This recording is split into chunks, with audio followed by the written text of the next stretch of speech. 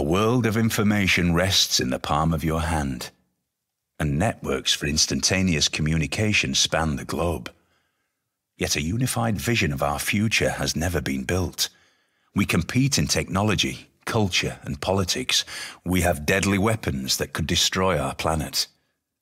Lead us carefully, but boldly, and build a global community that can stand for years to come. And so it is upon your broad shoulders, Theodore Roosevelt, to chart.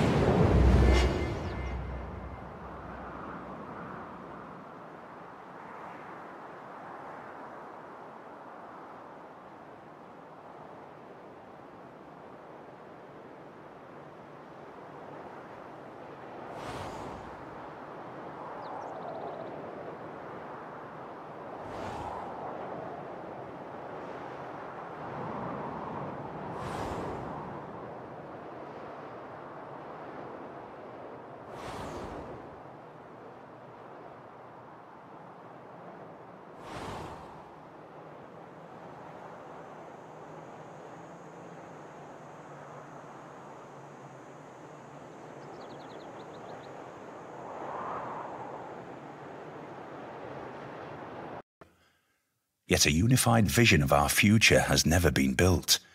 We compete in technology, culture, and politics. We have deadly weapons that could destroy our planet.